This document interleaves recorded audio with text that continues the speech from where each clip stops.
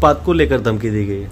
कल शाम को पौने आठ बजे के करीब संजय मासलकर नाम के एक शिवसेना एकनाथ शिंदे सेना के सचिव का मिस कॉल था।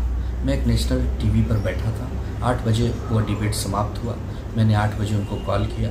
उन्होंने मुझे कहा कि तुम कब से छत्रपति शिवाजी महाराज के वंशज हो गए?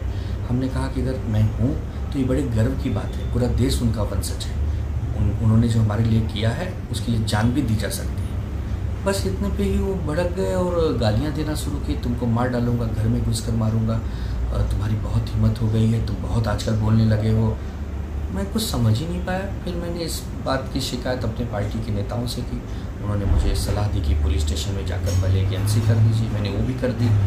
और बस अब मैं वेट कर रहा हूँ कि पुलिस क्या एक्शन लेती है, क्योंकि अगर हम जैसे प्रवक्ता ही सुरक्षित नहीं है तो फिर आम जनमानस की मैं क्या बात करूँ? हम तो टेलीविज़न पर बोलते हैं तो लाखों करोड़ों लोग हमको सुनते होंगे। अब अगर सब हमको ऐसे मारने आ जाएँगे तो हम लोग कहाँ जाएँगे? तो ये मेरी पीड़ा थी, इसके लिए मैंने ये कहा। और हमने तो जीवन में हमारा चरित्र, हमारा इतिहास कभी गंदा रहा नहीं है। तो हम तो हमारे ऊपर एजेंसी भी नहीं रही कभी। तो हम थोड़ा सा परेशान थे। तो इस विषय को लेकर आपके पार्टी के वरिष्ठ नेताओं से कुछ बातें हुई है? किस तरह का सपोर्ट मिला है? संजय राउत साहब से बात हुई अनिल देसाई साहब से बात हुई, उन्होंने मुझे आश्वासन दिया है कि पूरी पार्टी आपके साथ खड़ी है, आप डरिए मत।